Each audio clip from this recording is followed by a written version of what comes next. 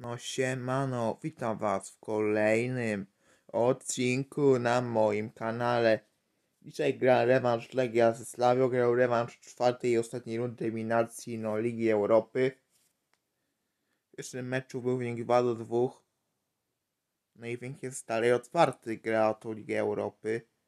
Legia no niestety bez Ju- Juranowicza, bo już Juranowicz podpisał pięcioletni kontrakt z Celticu a jednak wzmocnił, no bo przyszedł Yuri Ribeiro, nie, nie wiem jak on się go tak, nie wiem tego wymówić, Ribeiro, Ribeiro, Yuri Ribeiro chyba, tak się to czyta, z Nottingham Forest, który no, rozegrał tam dwa sezony 52 mecze.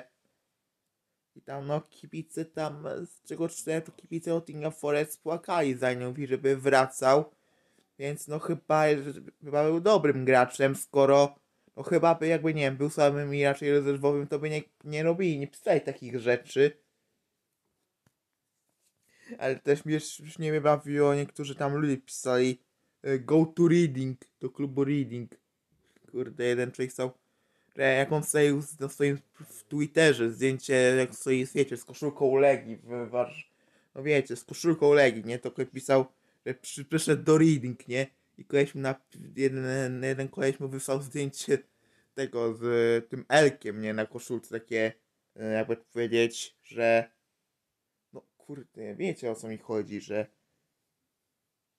zbliżył do tego logo, loga Legii, czyli tej elki, on jeszcze nie wie o co chodzi, więc no, koleś trochę, no, e, no trochę jego marzenia o Jurim w readingu, re, re, reading się no spieprzyły, ale no niestety no takie życie.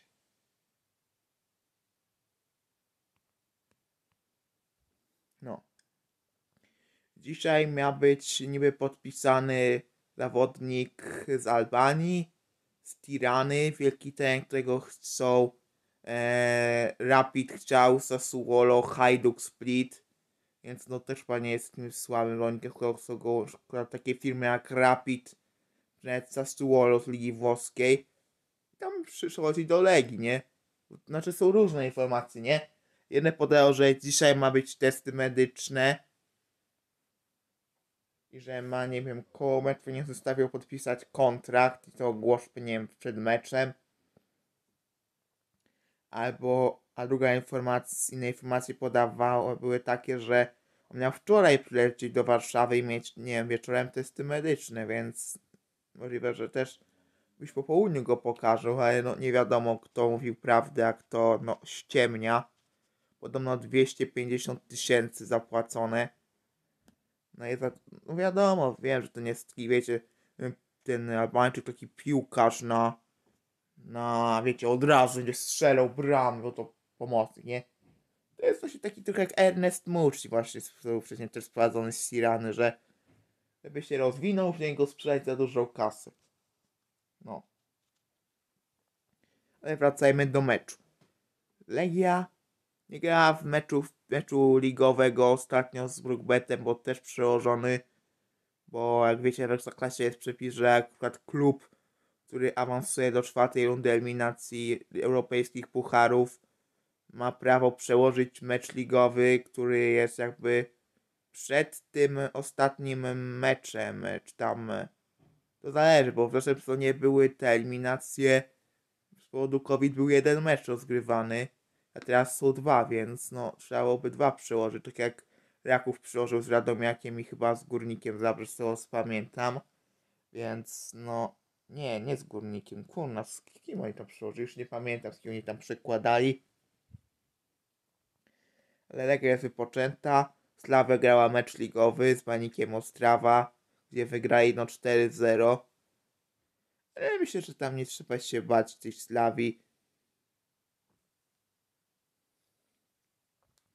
jeśli zagramy tak jak w pierwszym meczu i z lepszą obroną, to może być szansa na jakiś sukces.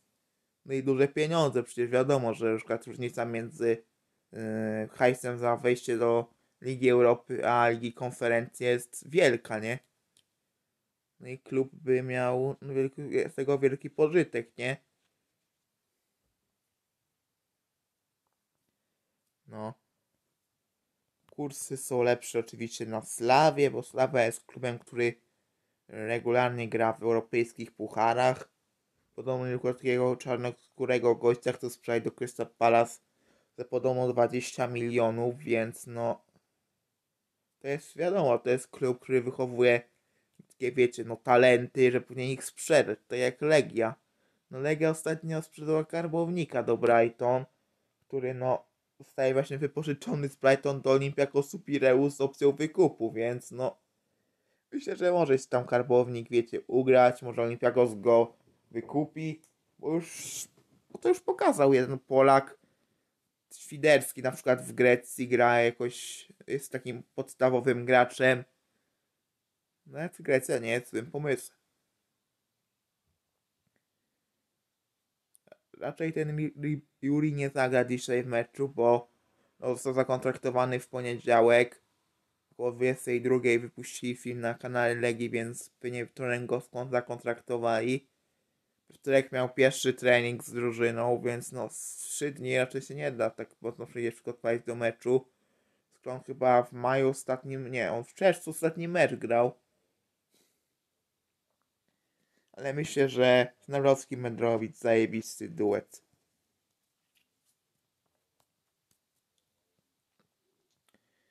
No i co tu jeszcze powiedzieć?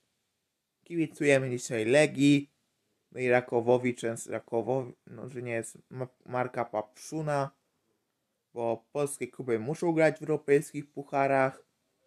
Wczorajszy przykład Sherifa Tiraspol, jakby ktoś nie wiedział, Sheriff wczoraj zremisował 0-0 z Dinamem i no awansował do tej Ligi Mistrzów.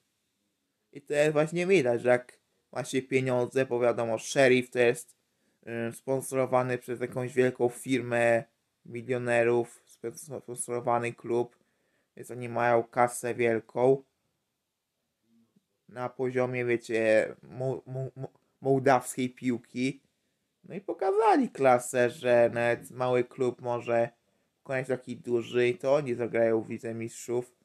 No trochę smutno z tego powodu, ale no cóż, no Legia. Legii się nie udało, ale jest Liga Europy. Nie ma co płakać. Gramy dalej.